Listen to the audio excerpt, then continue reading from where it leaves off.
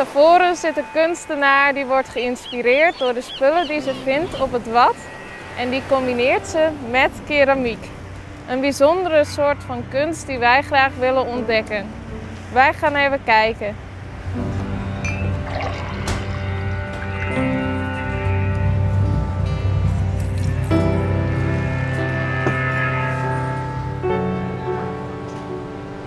Uh, we zijn in de expositieruimte van Renske Wierda.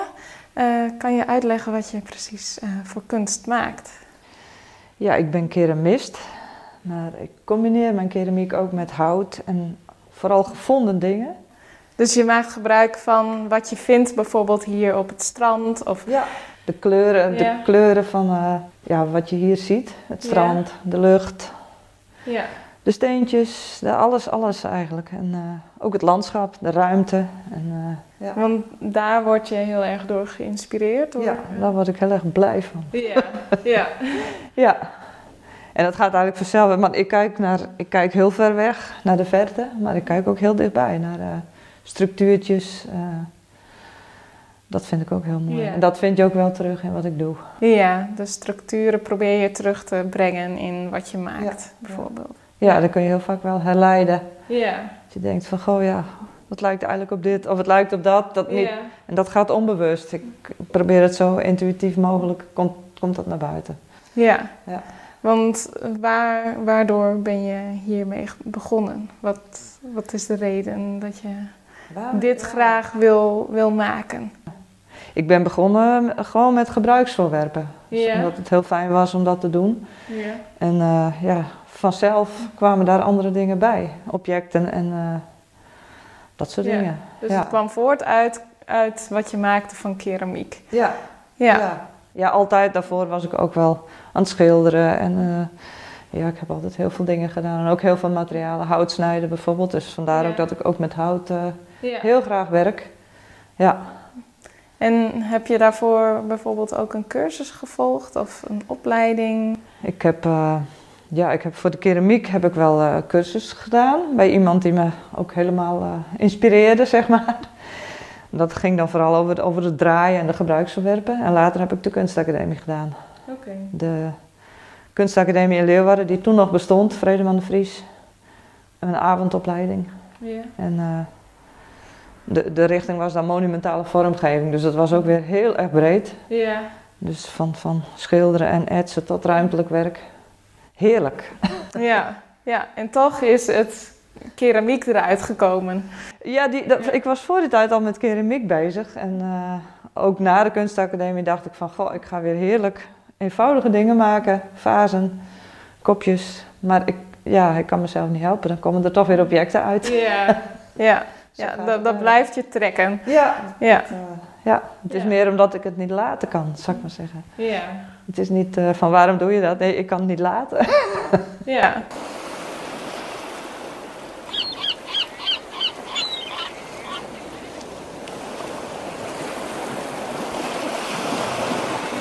Hier eh, zie ik een kunstwerk, eh, daar is hout in verwerkt. Ehm, vind je dit hout dan op het wat en dat je dan gaat onderzoeken van wat kan ik ermee? Eh, ja, ik probeer ook het, wat ik gevonden heb, dit stuk hout, Ja. dat probeer ik eh, ja, aan te laten geven wat ik ermee ga doen, zeg maar. Dus Ja. ik probeer te zoeken van wat zit erin. Dus dit stuk hout bijvoorbeeld, dat heb ik aan de onderkant bewerkt. En ik heb hem door midden geslagen en toen kwam die prachtige draai tevoorschijn. Was ook eh, nogal moeilijk om door midden te krijgen. Ja. Maar dat is dan als het ware een, een cadeautje om zoiets te vinden in dat hout. ja. En eh, ja, en op die manier te combineren met keramiek. Want zoiets ontstaat dan vanzelf. Ja, in het proces, zo gaandeweg. Je hebt een idee en dan doe je iets en dan denk je, oh, hey, het moet anders, het moet zus of het moet zo. Dat is het, het is niet dat van tevoren alles bedacht is of zo. Nee. Nee. Dus tijdens het ontwerpen kan het ook veranderen. Ja, zeker, Ja. zeker. Juist, juist. eh, ja, zelfs door dingen die fout gaan, dan kunnen soms eh, spannende dingen gebeuren. Ga je dan eerst ook uitwerken of, of laat je je echt helemaal verrassen? S- eh, soms begin ik wel eens met tekeningetjes of ideeën. Ja. Maar daarna kan het ook alle kanten nog op. Het kan ook helemaal weer veranderen. Ja. Ik kan er s'nachts ook echt wakker van liggen van de, op, het, moet, ja, de oplossing die ik moet hebben, zeg maar. Van. Ja. En dan opeens weet ik het, dit wordt het. Ja. ja. En, en waarom ehm, de combinatie van keramiek en, en de spullen die je vindt? Ja, ik, ik, ik loop, eh, ja, ik loop altijd te kijken, dus ja, dan vind je hele mooie dingen. En tegelijkertijd inspireert me dat. En Ja. tegelijkertijd eh, hoort het ook bij elkaar, voor mijn gevoel. Ja. Ja. Ja. Dat je het één keer bijvoorbeeld hebt uitgeprobeerd en verrast werd door wat eruit kwam. Ja, voor mijn gevoel kan ik daar dan, dan een stap verder mee gaan. Als ik het combineer, dan keramiek alleen of dan hout alleen. Het geeft net die extra dimensie die, Ja, die ja. het zo mooi maakt. Hier staan we voor de eh, gebruiksvoorwerpen. Hiermee ben je begonnen. Ja. Ehm, wat, wat, wat trekt je in, in het maken van de gebruiksvoorwerpen? Dat je niet hoeft te vragen, waar is het, eh, waarom doe je dat? Je kan het gewoon Ja. gebruiken, dat is ook fijn om het te gebruiken. Ja. Maar vooral eh, leef ik me heel erg uit met mijn glazuren. Daar heb ik ook jaren in gestoken om die zelf te maken, met volgens mijn eigen recepten. Heel veel proevetjes gedaan, proefjes en experimenten. En dus als ik zo'n schaal eh, ja, glazuur, dan ben ik ook helemaal in, mijn, in mijn element als het ware. ja. Je maakt dus zelf de glazuren. Heb je daar nou heel lang over gedaan om je dat eigen te maken? Ja, eigenlijk. Nou, de glazuren maken, daar ben, heb ik jaren en jaren in gestoken. Ja. En het glazuur, dit glazuur zoals ik het opbreng, helemaal naar mijn, ja, mijn eigen stijl, zou ik maar zeggen, dat heeft ook jaren gekost. Dat is iets wat natuurlijk steeds beter gaat en steeds meer van mezelf werd. ja. En, eh, ja, en als je glazuur opbrengt, dan, dan zie je dus niet wat het wordt. Je, nee. Het zijn allemaal een beetje doffe kleuren en het kan wel, eh, dit kan wel bruin zijn en dan komt het er toch eh, in die kleur uit. Dus je moet er echt een gevoel voor krijgen. Ja. En als je het oven open doet, dan zie je pas hoe het geworden is. En dat is super spannend. Het leukste moment van, van het hele proces. Ja. ja, dus Ja. je hebt, je, je kan dan niet bijvoorbeeld iets, iets ehm, in je hoofd hebben van dit wil ik maken, want dat komt er, uiteindelijk komt het er dan wat anders uit. Ja. Het, Ja. Je zou kunnen zeggen dat, het een, eh, dat je het toeval zijn gang laat gaan. Maar je leidt het wel. Ik weet wel wat ik doe, maar dat is toch eh, een verrassing wat eruit komt. Dus van de gebruiksvoorwerpen probeer je toch ook wat van de kunst en het artistieke erin terug te ja, brengen. eigenlijk zoals ik voor die tijd wel geschilderd heb, kan je dat ook weer helemaal terugzien eh, Ja. in mijn glazuren. Ja. En is er natuurlijk nooit één gelijk. Het is geen productiewerk of zo, dat je gewoon eh, series maakt. Zelfs elk kopje is anders. En dat is ook vaak als, ja, als je dan een, eh, een kopje thee zit te drinken, dat je dan een beetje zo zit te kijken. En dan Ja. pas ontdekt wat er... eh, ja, maar dat maakt zo'n gebruiksvoorwerp eigenlijk ook weer uniek. ja, Ja.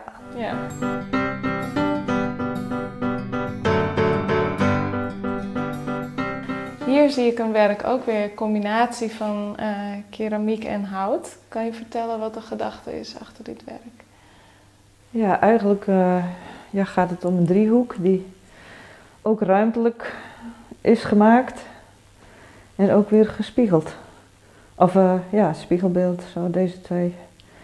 Dit stuk hout is, het is een stuk van een balk uit het oude stadshuis hier. Toen, nog stad, toen we nog echt een, een eigen burgemeester hadden met een, een stuk grenenhout wat, wat nou, ja, vast wel 150 jaar oud is. En toen ik het ging bewerken, dan, ja, dan komt de geur van het verse grenen er nog zo af. Dat is fantastisch. Ja, Tegelijkertijd is dit, tegelijkertijd is dit ook weer heel organisch eigenlijk. Dus dat soort dingen combineer ik dan. ja, Ja. ja. Ja, want de driehoeken die, die komen er ehm, expliciet heel, heel sterk uit. ja. Ja. Ehm, had je dat met een reden gedaan dat, dat dat die vorm moest hebben? Of kwam dat er toevallig zo uit? Een driehoek komt altijd weer in mijn werk. Ik weet niet hoe dat... Oké. eh, zelfs als ik eh, ja, in mijn glazuur kras, Ja. kan er zomaar weer een driehoek in zitten. Dus op een of andere manier vind ik dat een eindeloze, fascinerende vorm, een driehoek. Ja. Ja. En hier heb je ook verf bij gebruikt. Ja. Ehm, doe je dat nog vaker bij je werk? Of, of komt dat Nou, bij een bepaald werk sterk naar voren? Voor die tijd liet ik eigenlijk altijd die gevonden stukken hout eh, zonder, Ja. zonder verf. Maar het voegt er nog weer eh, iets aan toe. Als je er nog iets met kleur kan doen, kan je er nog weer meer uithalen.